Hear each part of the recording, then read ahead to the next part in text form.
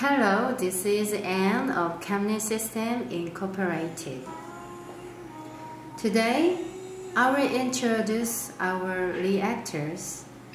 These reactors are hydrothermal synthesis reactors.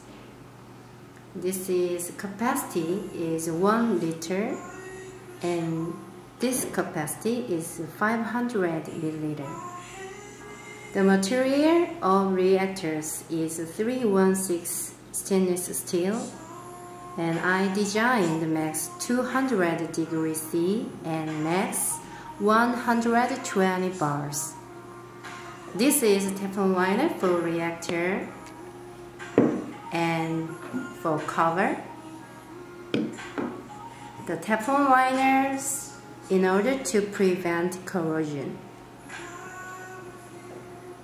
This reactor is bigger than normal reactors. Due to we designed the reactor in accordance with ASME code. We always think it's important of safety and convenience and efficiency of systems. Thank you. Produced by ChemRe System Incorporated.